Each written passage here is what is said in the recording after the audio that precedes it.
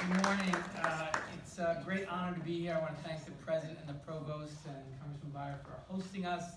It's always a great pleasure to be with the Democratic leader and thank her for her leadership on this issue, and of course, Anna Eshoo, who really led this working group.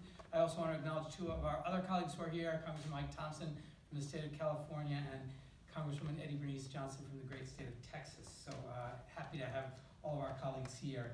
Uh, As Leader Pelosi mentioned, uh, last July, we launched a better deal that was really based on three pillars. Raising incomes, because folks are just not making enough money to get by. Uh, reducing the cost in people's lives, and that's everything from health care to child care to higher education. And the third pillar is making sure people have the skills and the tools to be successful in the 21st century. And so I'm very proud today that we are launching a detailed plan with respect to that third pillar. Uh, as I was introduced, I'm David Cicilline from the great state of Rhode Island, and along with Cheri Bustos from the state of Illinois and Hakeem Jeffries from the state of New York, I serve as co-chair of the Democratic Policy and Communications Committee. And for more than a year now, we have seen that, of course, Republicans have control of Congress and the White House. And for more than a year, they have been giving working people in this country a raw deal.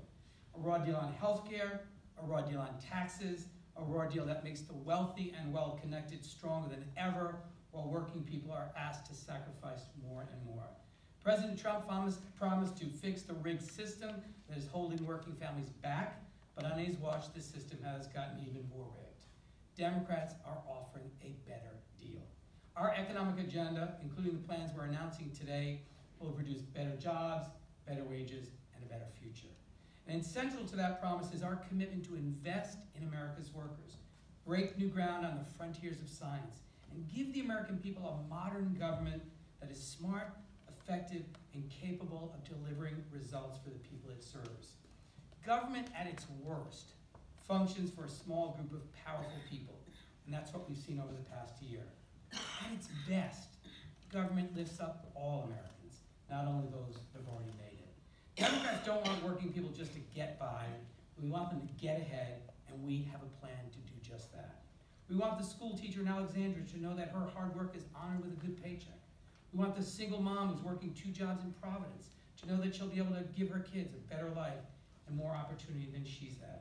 We want the senior in Wisconsin to live with dignity without the fear of being unable to afford prescription drugs.